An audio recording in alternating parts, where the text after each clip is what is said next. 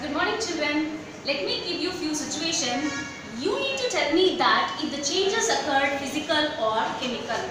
Okay, I'll give you few situations. First one is paper is stone. Paper is stone. And second one is paper is burnt. First one is paper is stone. Second one is paper is burnt.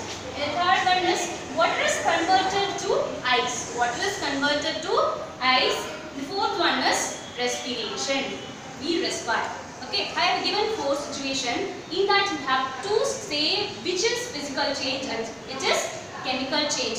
So you have to differentiate the physical and chemical changes. If you want to differentiate, you must know the basics of physical and chemical changes.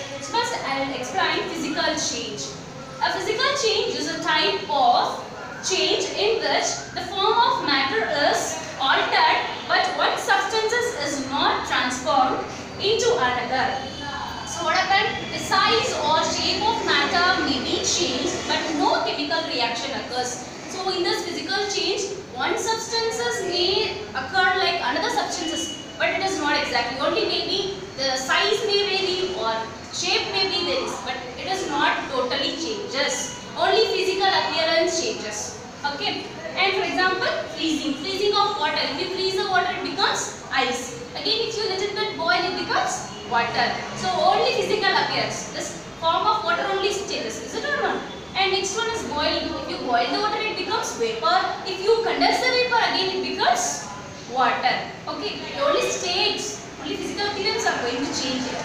This is nothing but physical change. Once again, I will repeat definition. A physical change is a type of change in which the form of matter, only form of matter changes. Okay, the form of matter is altered, but what substances is not transformed, only form.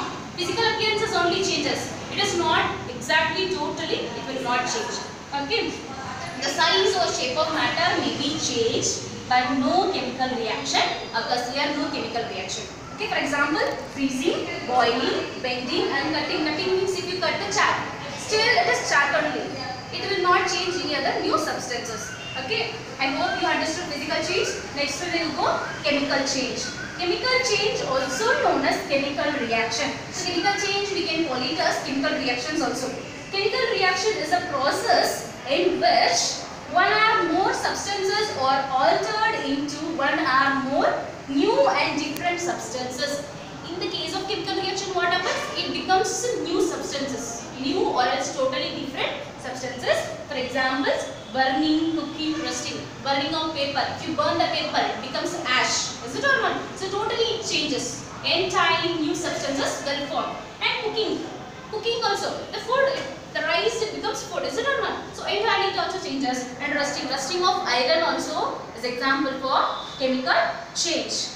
So I hope you understand physical and chemical change. Physical change you keep it remember only physical appearance. Shape, size, color, appearance will change. But in the case of chemicals, entirely new substance will form. So now you have to tell me that paper is stone. Is a physical change or chemical change?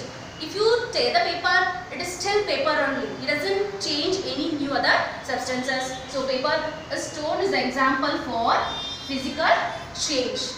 Okay. And next paper is burnt. If you burn the paper, it becomes ash and smoke.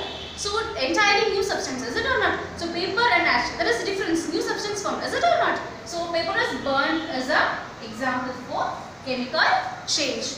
Next, water is converted to ice. If you, water is converted to ice, if you boil a little bit, it becomes again water. So only state matter form, form only change, is it or not? State of matter only change. So water is converted to ice. Example for physical. Okay. And next one is respiration. We respire. What we are inhaling? Oxygen. Is it or not? So afterwards, what we are exhaling? Carbon dioxide. So inside the bodies, there is chemical reaction takes place. So what happens? Oxygen becomes carbon dioxide. So entirely new substance formed. So this respiration is example for chemical change. Got it children? So chemical change is also known as chemical reaction. Is it or not? So today we are going to learn about chemical reaction and equation lessons. Children, if you have any doubt in physical and chemical change, you can ask during classes through your messages. If you have any doubt, I'll clarify immediately. Thank you children.